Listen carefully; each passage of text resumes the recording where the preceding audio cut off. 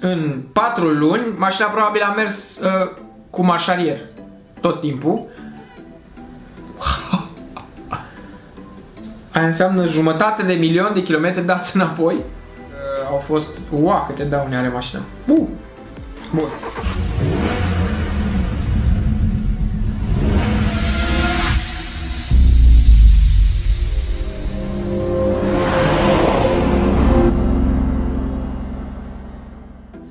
Dragi iubitori de mașini, bine ați venit pe Vrum Vrum Vlog, astăzi facem un material de acasă Iar pentru că în ultima perioadă mi-am dorit să înnoim oarecum parcul auto Vrum Vrum Vlog Cel mai probabil peste două zile Smartul o să plece la Brașov uh, noi o să avem un eveniment la Brașov pe care o să-l vedeți uh, în următorul material spectacol total. M-am uitat și la X6 să văd cam ce valoare de piață ar avea dacă ar fi să vând mașina acum. Mașina mea are undeva la 300.000 de kilometri și am zis, bă, hai să mă uit să văd pe net cam cât ar costa un BMW X6 din 2008 cu aproximativ 300.000 de kilometri. Surpriza a fost una foarte mare. Toate mașinile au sub 300.000 de kilometri. Nu prea înțeleg cum, pentru că din 2008, dacă ai mers cu ea la bun simț, pentru că mașina cu care, despre care îți povestesc, mașina noastră, nu a exagerat în niciun fel, adică s-a mers doar când a avut sens, Uh, cum ai putea ca toate mașinile ce sunt de vânzare să fie sub 300.000 de kilometri. Tocmai de aceea am luat aleatorul primele 5 mașini pe care le-am regăsit pe Autovit și le-am băgat în car vertical să văd dacă ori eu am o problemă pentru că am făcut prea mulți kilometri cu mașina, ori ceva pute în adevăratul sens al cuvântului și mașinile au kilometri dați înapoi. Ceea ce nu mi se pare normal, dar Având în vedere faptul că piața din România dictează bariera psihologică de 175-180 de mii de kilometri, cred că cumpărătorii români îi forțează pe cei ce vând mașini să fure la kilometri, adică să dea mașinile, să dea kilometri înapoi la mașinile pe care le au. Acestea fiind spuse, hai să dăm drumul materialului și să verificăm primele 5 BMW X6 pe care le găsim pe un site de vânzări din România. Ca o paranteză, dacă îți dorești să-ți verifici mașina sau dacă te gândești să-ți achiziționezi o mașină, îți las link în descriere cu o reducere de 15% la uh, un raport car vertical. Important de știut, dacă lași în comentarii o poveste funny pe care ai avut-o referitoare la kilometri parcurși și adun cele mai multe like-uri, o să premiez primele 3 cele mai uh, votate comenturi uh, de la acest material. Fiecare o să primească câte un raport gratuit car vertical. Săptămâna viitoare, marți, vom uh, verifica cele mai bune 3 comentarii vor primi câte un uh, raport car vertical uh, gratuit. Anunțul facem pe Instagram. Dacă nu ne urmărești pe Instagram, dai follow cu încredere acum, acum e momentul și hai să trecem să verificăm mașini. Acestea fiind spuse, hai să dăm drumul. Am uh, luat deja primul vin, l-am pus și acum mașina uh, se verifică. Ca o paranteză, am avut uh, o experiență interesantă în legătură cu oamenii ce ne urmăresc care mi-au spus că au uh, cumpărat un raport și nu au găsit aproape nicio informație despre mașină. Oameni buni, dacă mașina respectivă nu are un istoric înregistrat, să nu fiți surprinși că nici pe car vertical nu o să găsiți absolut nimic. Dacă mașina este într tot în regulă și o să băgați pe car vertical uh, vinul mașinii, o să aveți surprinderea că o să găsiți tot ce aveți nevoie. Uh, bun, prima mașină este un X6 X-Drive 35D, exact ca și modelul meu din 2008, uh, motor de 3000 exact aceeași configurație pe care o am eu, ceea ce mi se pare super fain pentru că pot să faci o uh, comparație aproximativă. Hai să o luăm de la început și să vedem ce zice raportul car vertical despre prima mașină verificată. Bun, îmi zice că uh, kilometrajul există posibilitatea să fie dat înapoi. Exact ce spuneam. Vedem cât are declarat. Din punct de vedere a furtului, nu este o mașină furată, accidente, acest autovehicul a fost avariat, iar mașina nu a fost înregistrată ca mașină de taxi.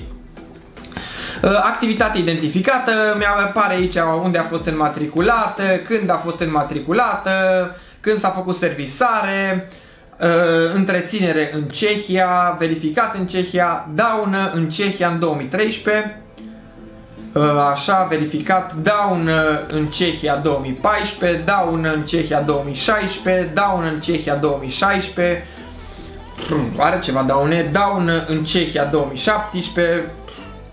A avut lucrări de întreținere. A fost verificat. Ok. Reducere, bun. Ok. Are câteva daune. În raport sper să vedem și ce daune, despre ce daune e vorba.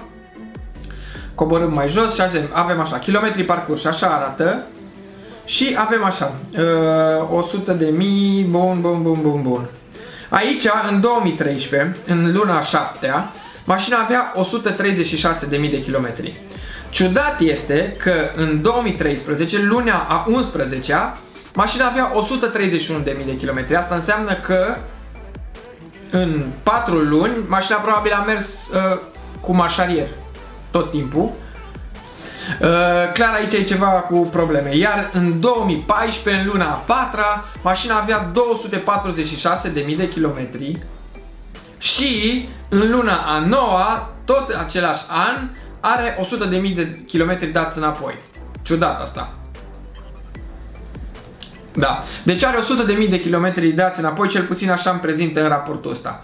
Mașina teoretic acum, la momentul actual, are undeva la 249.000 de kilometri puși, trebuie să ne uităm exact să vedem în anunț cât sunt, dar după cum spuneam, mașina teoretic are 350.000 de kilometri, ceea ce mi se pare kilometrajul corect pentru o mașină din 2008 care să-și fi amortizat uh, suma de bani investite.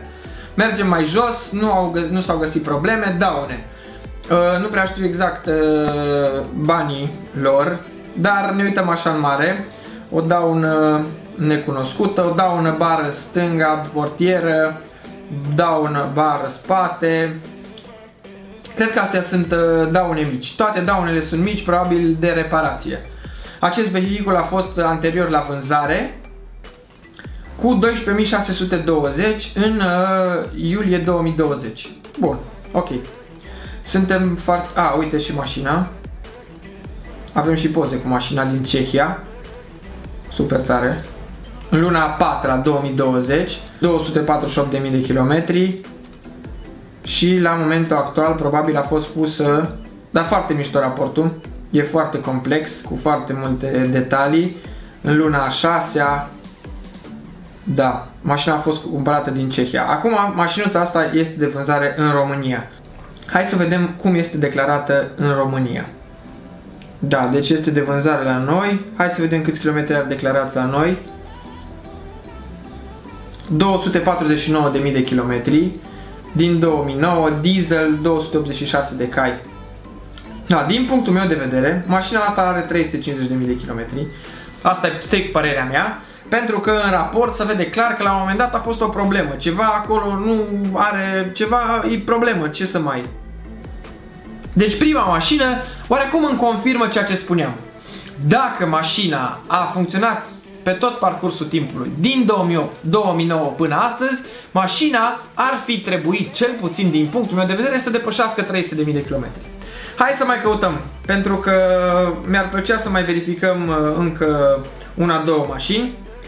Mergem mai departe, tot de pe uh, Autovita am găsit mașina. Mașina are 192.000 de kilometri declarați, motor de 3 litri, 280 de cai, exact uh, cum uh, exact în configurația noastră, dar are 192.000 de km. Hai să vedem ce zice raportul car vertical.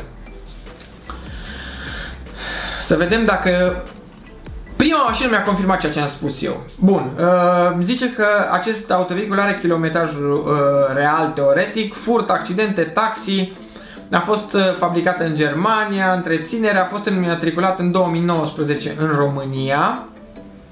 Bun, mergem mai jos. Bun, nu are notă. Kilometri parcurși. Kilometri parcurși. 2011, decembrie 2011, 45.000 de kilometri, 2013, 600.000 de kilometri, 631.000 de kilometri și 2015, 100.000. Aia înseamnă jumătate de milion de kilometri dați înapoi. Da, cred că e o problemă de înregistrare a kilometrilor. Eu cred că s-a pus încă un 0 în plus și vorbim despre 63.000 acolo. N-are cum să fac atâția kilometri acolo. Clar este o problemă. de înregistrare a kilometrilor. Și acum are 190.000 în 2019 avea 188.000, deci s-ar putea să fie ok. La daune nu prea are nicio problemă, singura chestie acolo cu kilometrajul la da, na, nu prea înțeleg. Acest vehicul a fost uh, de vânzare în 2019, în septembrie, cu 17.600. La momentul actual, asta e mașina. Interesantă mașina. Da, are jantele schimbate. Probabil erau jante mișto ale alte. 17.600. Da, interesantă. Teoretic vorbim, mașina asta nu are kilometri dați înapoi, probabil este o problemă de uh, înregistrare a kilometrilor. Nu prea mi imaginez cum în 12 ani să faci 190.000 de kilometri. Înseamnă că, uh, stai așa să facem un calcul rapid, calculator, 190.000 împărțit la 12 ani, egal 15.000 de kilometri împărțit la 12 egal undeva la 1300 de km pe lună. Se poate, nu zic nu, dar uh, mi se pare un pic greu, uh, greu de, de atins. Se pare că totuși mașina asta, cel puțin așa la prima vedere, nu are o problemă de kilometri dați înapoi, doar problema pe care v-am prezentat acolo cu cei 600.000 de kilometri, ce probabil este o greșeală de înregistrare. Mergem mai departe, să mai vedem încă, un, uh, încă o mașină. Uh, cea de-a treia mașină, probabil asta o să fie și ultima, în așa fel încât să vedem uh, la cât e ceasul. Următoarea mașină este încă un X6, 821, să, așa, îmi zice că teoretic are kilometrajul dat înapoi. Mașina a fost schimbată titlul de proprietate din Texas, este venită din Texas, Texas, înmatriculată în 2008 la noi în țară, Down în 2009, Down în 2011, verificat daune în 2013, are ceva daune, vedem acum dacă au fost, ua, câte daune are mașina. Uh. Bun. Mergem mai departe să coborâm înspre să vedem, uh, să vedem problemele. Ok.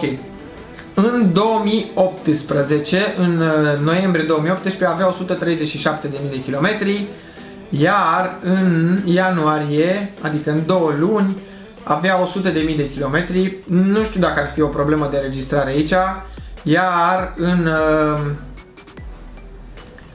mai avea 140.000 de km. Deci teoretic aici sunt dați vreo 30.000 de km înapoi. Nu cred că ar avea sens. Uite ce mi se pare foarte tare că un kilometraj normal, dacă vorbim despre o mașină din 2008, cei de la Car Vertical îmi spun că ar trebui să aibă 210.000 de km. A mea are mai mult. No, înseamnă că am făcut eu mai mulți kilometri. Bun, coborâm și hai să vedem la daune. Bun, dreapta, stânga, portieră, față. 10.000 de lei. Aoleu, 10.000 de lei. Încă o daună de 10.000 de lei. Gaune, daune de 3.000, 5.000, 30.000, asta e un pic mai nasoală. Bară față, bară așa, probabil a frânat într-un. Wow, încă una mare. 10.000. Wow. Foarte multe daune. Dar cred că doar una este, ma este majoră. Interesant și asta. Da, concluzia este una foarte simplă și ce vreau să vă transmit prin intermediul acestui material Uh, să faceți un calcul aproximativ și să vă asumați dacă cumpărați o mașină mai veche să nu vă așteptați să aibă 100.000 de kilometri în 30 de ani de utilizare. Pentru că dacă vorbim despre utilizare normală, eu de exemplu, hai să facem un calcul, 300.000 uh, de kilometri împărțit la 12 ani înseamnă undeva la 25.000 de km pe an. Mă, mie nu mi se pare mult, mie mi se pare normal să faci undeva la 20.000 de km pe an. Uh, teoretic vorbind, dacă nu faci kilometrajul ăsta, sunt foarte multe aspecte ce trebuie să le urmărești, pentru că mm, mai ales dacă vorbim de o mașină cumpărată din Germania, un neamț nu o să-și cumpere niciodată un motor diesel dacă nu face așa mulți kilometri, probabil mai mult. Eu aș zice undeva la 30.000 de kilometri pe an, poate chiar mai mult ca să poți să zici, da frate, mi-am amortizat investiția când vorbim despre mașina pe care am cumpărat-o. Iar dacă te gândești la achiziția unui motor diesel, clar trebuie să faci mulți kilometri ca să aibă sens achiziția unui motor diesel, să plătești diferența pentru un motor diesel. Dacă nu are sens, deci trebuie să fim un pic mai realiști. Tocmai de aceea vă recomand să nu vă blocați în ideea asta de kilometri, să vă uitați la mașină, să o analizați în adevăratul sens al cuvântului, să o vedeți cum este utilizată, cât de frumoasă, cât de bine este întreținută, nu să vă blocați neapărat, gata, imediat, uh, dacă are kilometri mulți, nu mai vreau. Sunt foarte curios să îmi lăsați în comentarii ce părere aveți voi despre uh, kilometrii dați înapoi. Și dacă ați avut vreo experiență de genul ăsta, vă rog să o lăsați în comentarii. Eu am fost Mihai Beldie, astăzi ai urmărit Vrum Vrum Vlog și până la următorul episod, nu uita, iubiți-vă mult, mașinile!